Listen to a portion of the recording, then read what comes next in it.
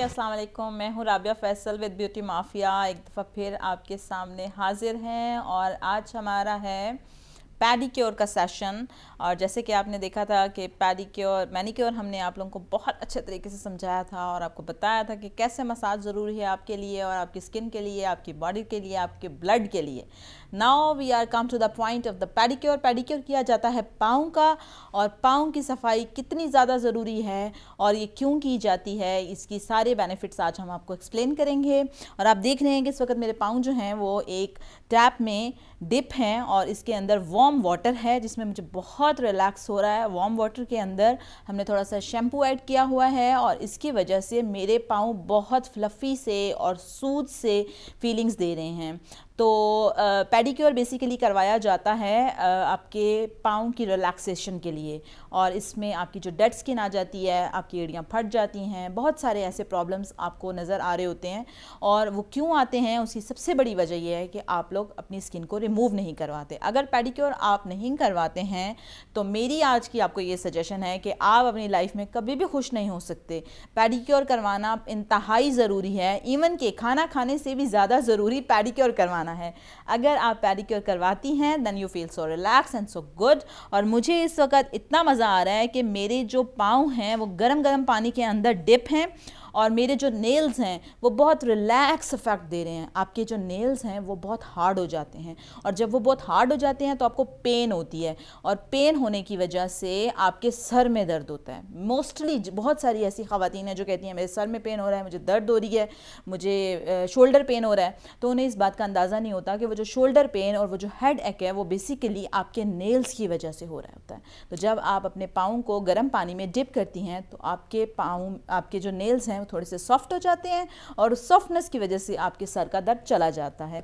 Now we come to the point and हम अपने session के ऊपर स्टार्ट करते हैं। जैसे कि आप जानते हैं कि हम पॉलिशर अप्लाई करेंगे और पॉलिशर होगा क्रीमी उसके अंदर पाउडर नहीं ऐड होगा, उसके अंदर डिवेलपर नहीं ऐड होगा। लेकिन उससे पहले मेरी स्किन को किया जाएगा सूद और सूदिंग करने के लिए गर्ल्स अप्लाई करेंगी soothing cream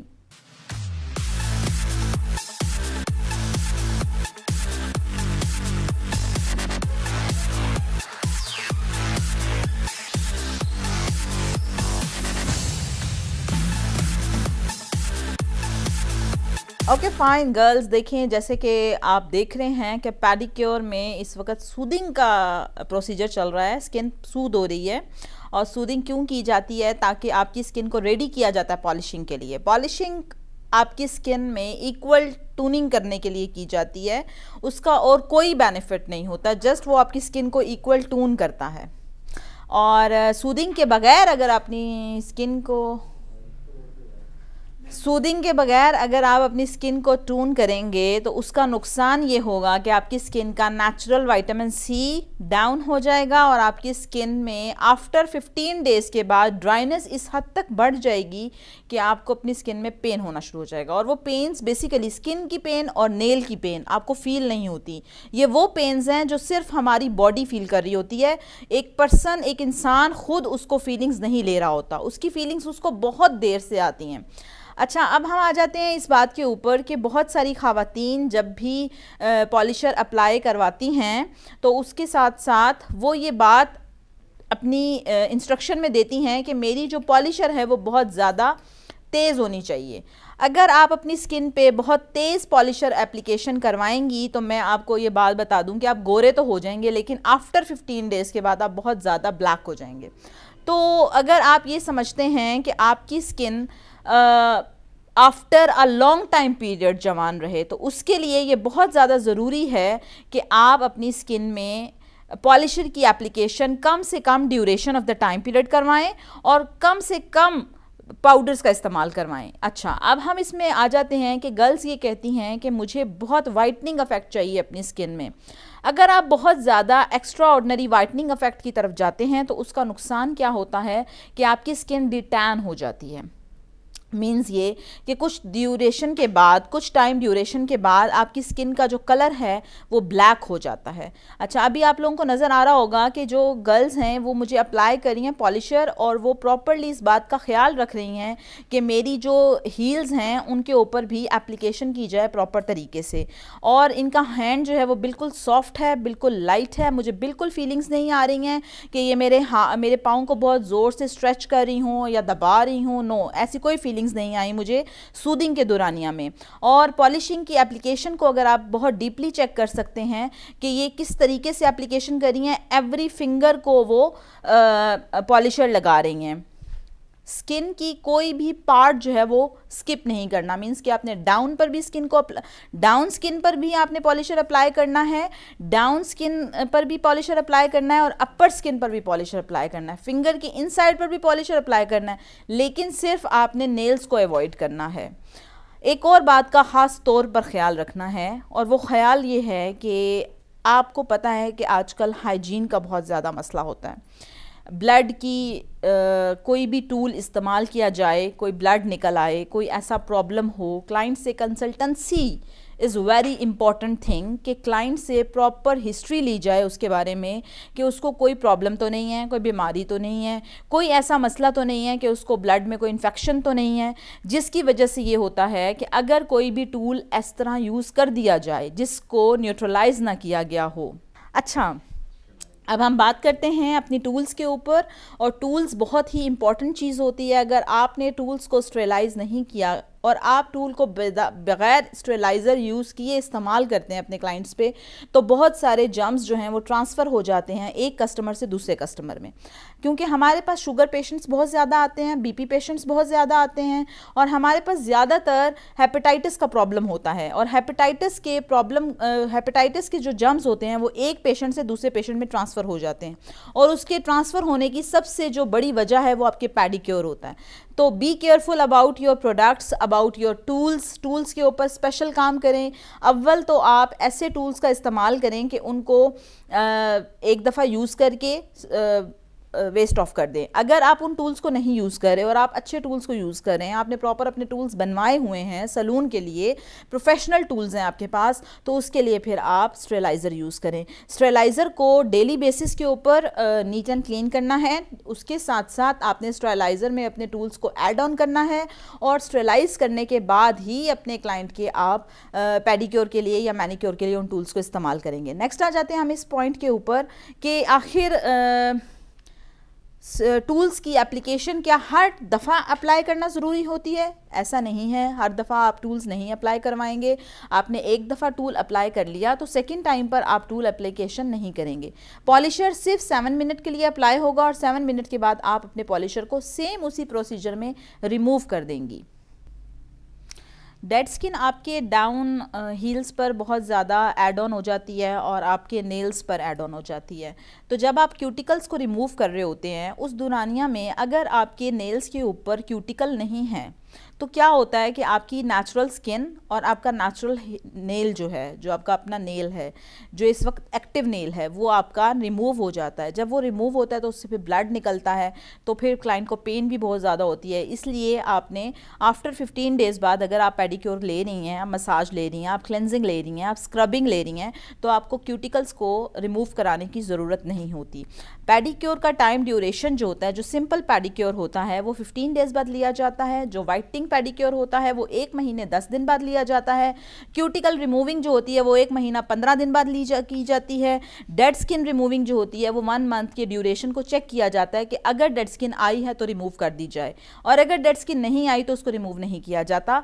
अच्छा ऐसा होता है कि बहुत सारी जगहों पर आप लोगों ने देखा होगा कि स्क्रब का इस्तेमाल पहले कर दिया जाता है, क्लिनजिंग को बहुत ज़्यादा इंपॉर्टेंस नहीं दी जाती। लेकिन मैनिक्योर में भी आपने देखा होगा कि हमने प्रॉपर क्लिनजिंग की क्लिनजिंग करने के बाद फिर हमने स्क्रबिंग की स्क्रबिंग करने के बाद फिर हमने मास्क की एप्लीकेशन की।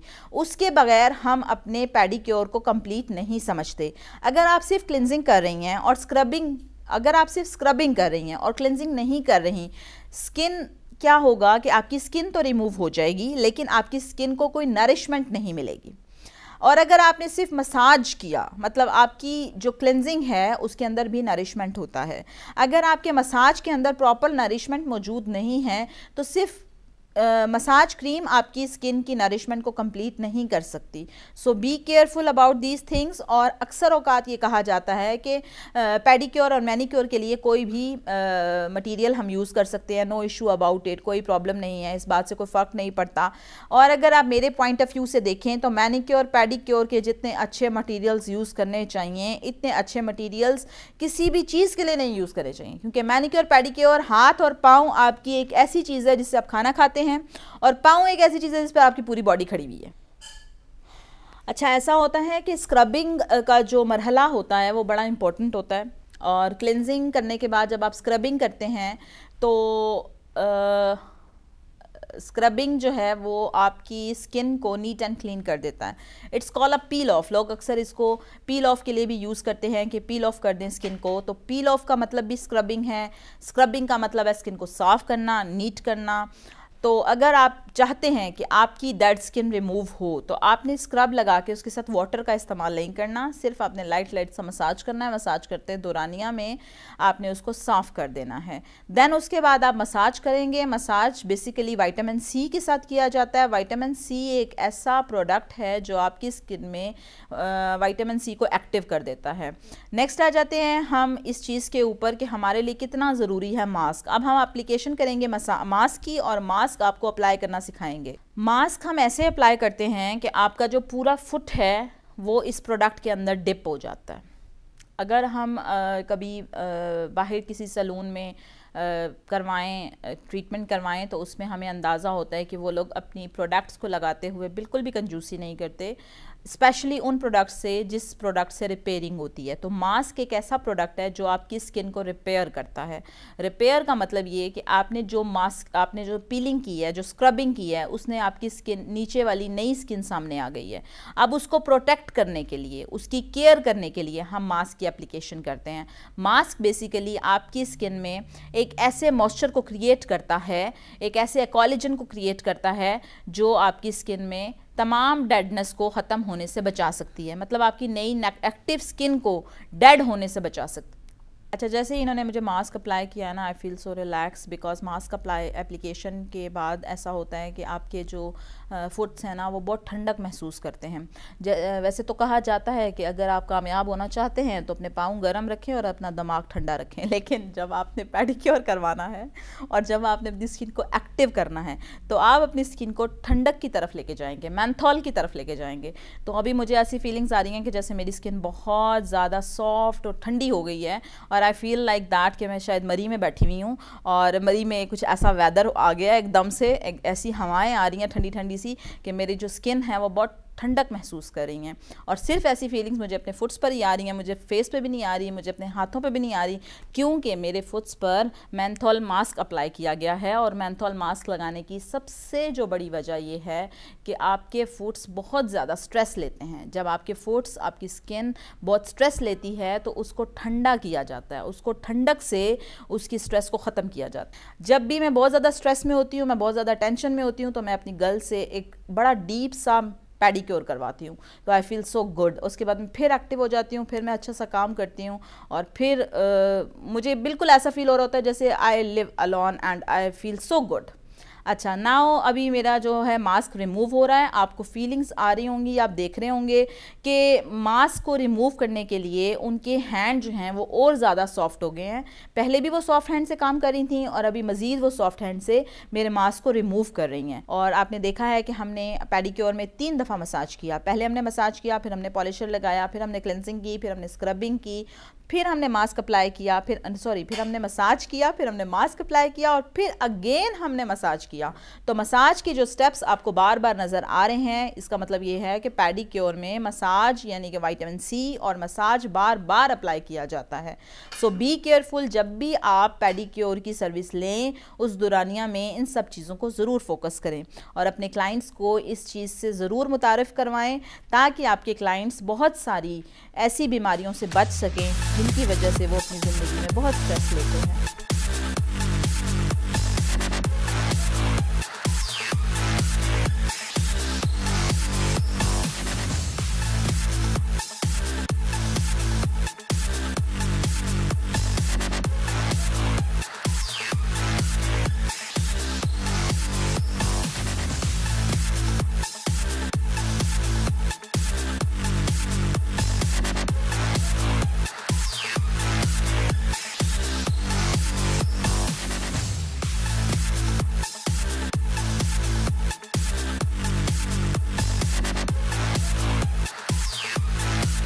यस नाउ आज के ट्यूटोरियल से आप लोगों को बहुत मज़ा आया होगा, आपने बहुत इन्जॉय किया होगा और उसके साथ साथ आपको लर्निंग के हवाले से बहुत कुछ समझ आया होगा कि आखिर पैडिक्योर मैनिक्योर क्यों इतना ज़रूरी है और इसको क्यों करवाना चाहिए और इसको कैसे करवाना चाहिए। दिस इज़ अनदर पॉइंट कि पैडिक्योर मैनिक्योर क्यों करवाना चाहिए और कैसे करवाना चाहिए। I give you the full theory and properly मैंने आपको उसका प्रैक्टिकल दिखाया आज कि लड़कियाँ कैसे मसाज करती हैं, कैसे अप्लीकेशन करती हैं और किन चीज़ों का आपने ख्याल रखना है और किन चीज़ों से आपने अवॉइड करना है। अपना बहुत सारा ख्याल रखिएगा और हमारे आने वाले तमाम प्रोग्राम्स को आप इंजॉय करते रहेंगे। इनशाला Rabia Faisal with beauty mafia अल्लाह हाफिज़।